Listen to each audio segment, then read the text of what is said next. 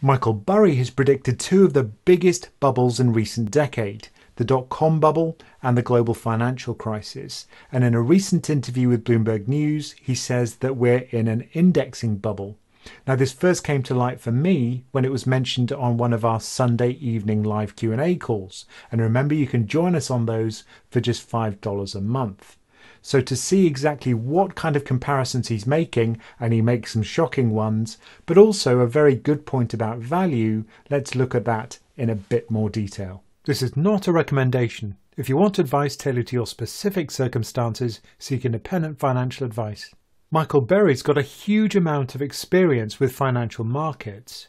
In 2000, he founded Scion Capital, and he very effectively called the dot-com bubble. And by shorting stocks, he managed to make a profit even when the S&P 500 was falling. But most impressive of all, in 2005 he forecast that the real estate bubble would burst in 2007. In 2008 he'd returned over 22% per annum to the investors of Scion Capital. You probably wouldn't have heard of him if he hadn't been mentioned in Michael Lewis's book The Big Short, which was then turned into a fantastic movie, where Michael Burry's character was played by Christian Bale. As Eric Balchunas points out, Michael Lewis, who wrote The Big Short, is actually an index investor. So let's start with Burry's point about price discovery.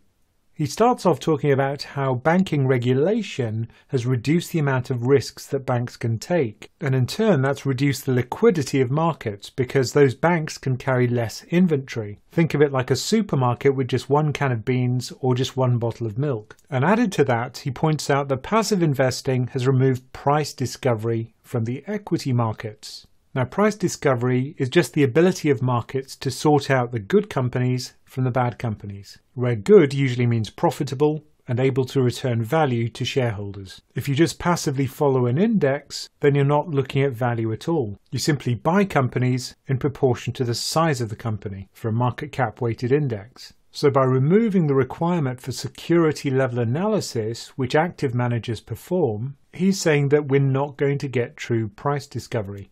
James Seyffart from Bloomberg Research has shared these two pie charts. These compare 2013 and 2018 based on the amount of money which is being run in active mutual funds versus passive exchange traded funds and index funds. And while active represented about two thirds of the market in 2013, in 2018 it was roughly 50 50. And given the rapid growth of passive funds, we're likely to have passed that point of 50% in 2019.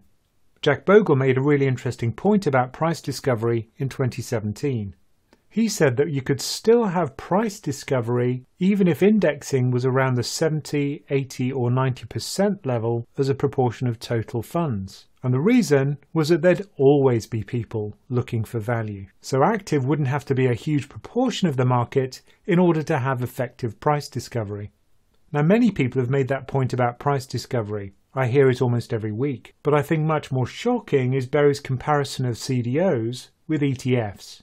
He compares what he calls the indexing bubble with the bubble in synthetic asset backed CDOs before the great financial crisis, because he says indexing has massive capital flows, just like CDOs did, which isn't underlined by fundamental security level analysis. But comparing an ETF with a CDO is a bit like comparing a cheetah with a hippopotamus. They're very different beasts. Let's see why. Firstly, what is a CDO? It's not something most of us are familiar with.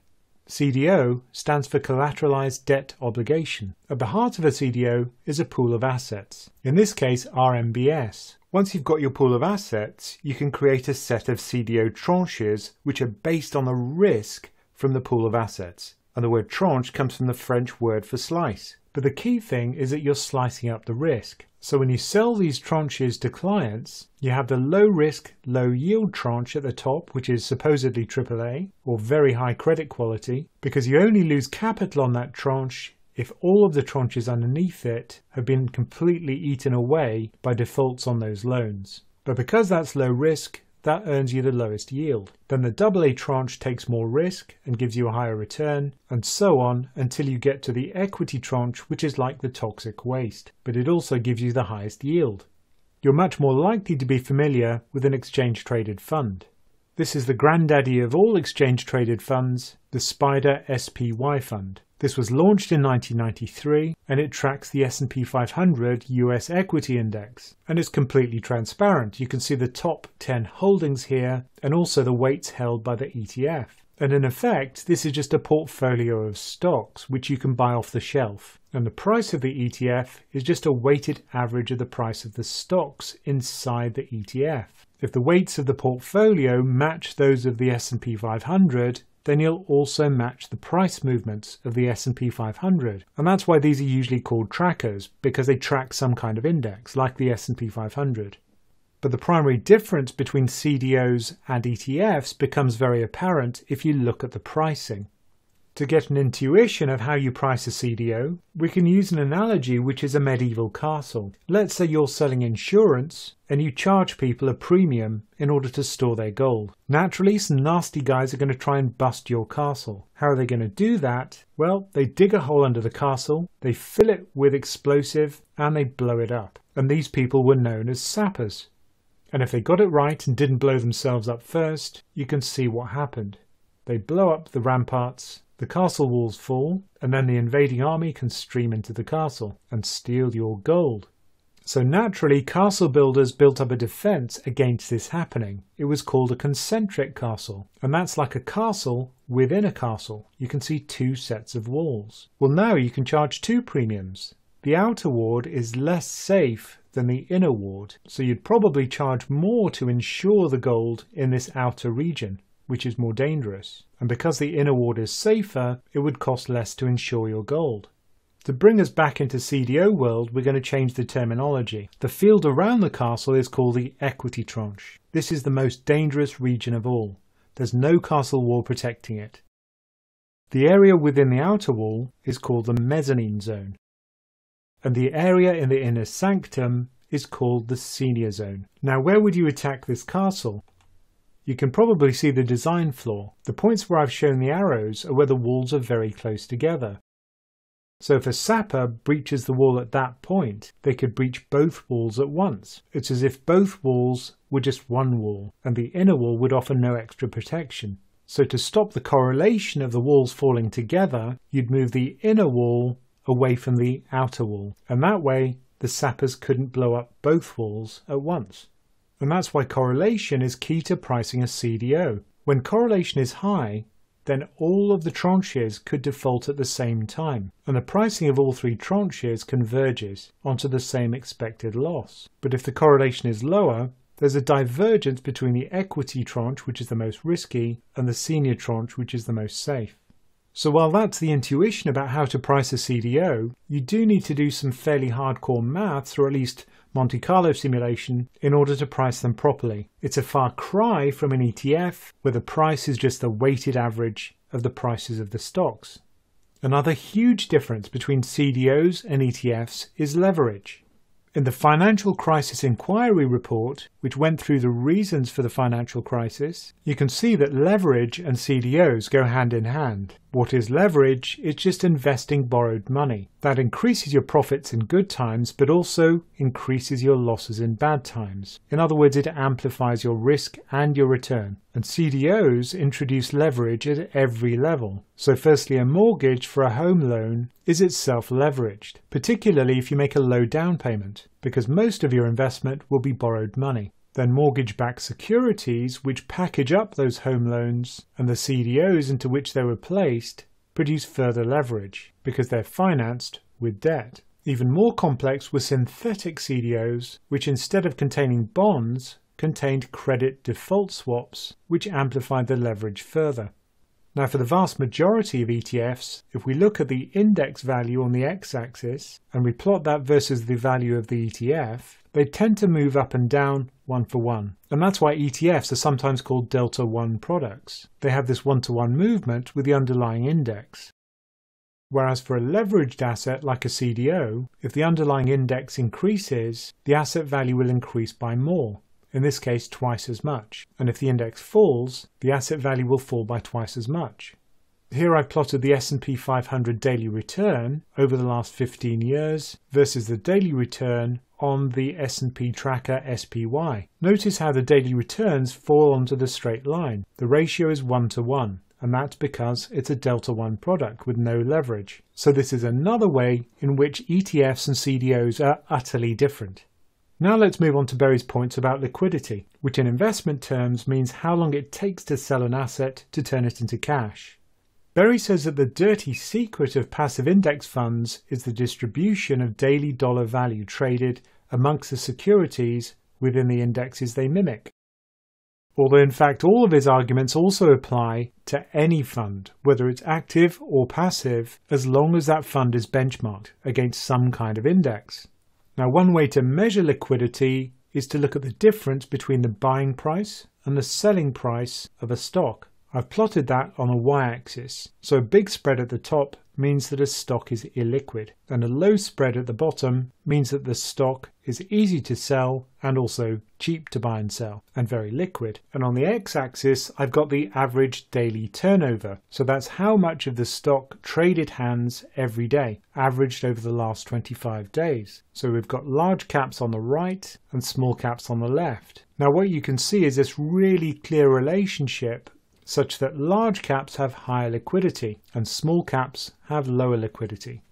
And that's what Burry means when he talks about the Russell 2000 index, which is a US mid cap and small cap index. And that has a huge tail of tiny stocks, which are lower volume and lower value traded stocks with low turnover. And he backs that up with some statistics showing that over a thousand of the stocks on the day he looked at the market traded less than $5 million in value, which is tiny for the US stock market. And he makes the point that if a very large amount of money is indexed against the Russell 2000, then hundreds of billions could be linked to these tiny stocks. And he says the same is true of the S&P 500. And he makes a nice analogy, which is to say that the theatre keeps getting more crowded but the exit door is the same as it always was, implying that if everyone gets out at the same time, there won't be room. But of course, this is a well known fact, so that microcap stocks trade at huge bid offer spreads and they tend to be very illiquid. And if you look at the bid offer spreads in the morning, they're typically worse than they are in the afternoon. As shown in this data from Brian Livingston, there are two orders of magnitude difference in the bid offer spread between the smallest and the largest stocks on the US stock exchange. But in fact, ETFs have found a way around that, which is called sampling. Instead of buying all of the stocks in the index in the same weight as the index, you only buy a subset of them and adjust the weights in a clever mathematical way such that you track the index as closely as possible. The stocks you miss out are the ones which are least liquid, and that would typically be the smallest stocks in the index. So, for example, if you're tracking emerging market stock indices, which tend to be less liquid than developed market stocks, you're likely to use one of these sampling methods. But also if you're tracking a huge index like MSCI World, where it may not be practical to buy all of the stocks in the index.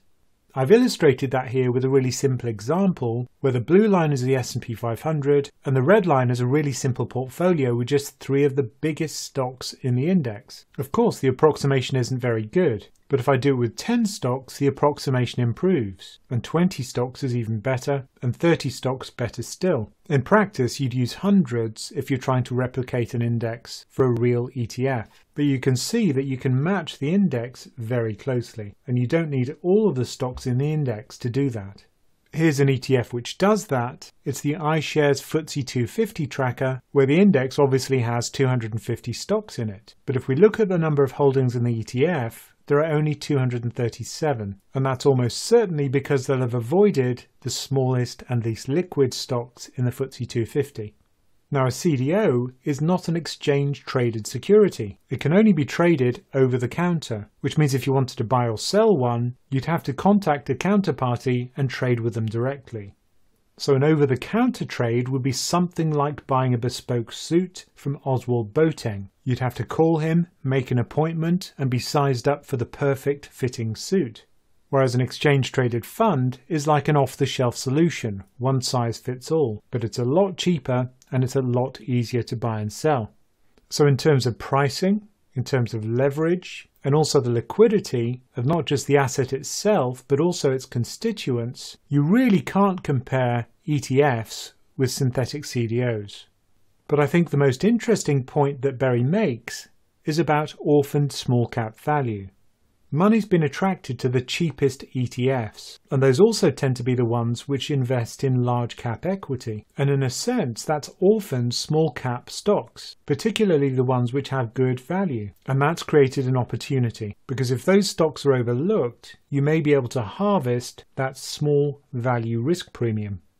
So it's ironic that there are now many ETFs which do precisely that. They're designed to harvest this small cap value risk premium. Now, strictly speaking, these are not passive funds. They're active funds, but they're still wrapped up inside an exchange traded fund. But the key thing is that it's forced down the fee that you'd pay to get exposure to that type of factor. You won't have to do the single stock screening yourself. You can get the ETF to do it for you. And while in the UK we don't have many of those small cap value ETFs, Vanguard has created a global liquidity factor ETF.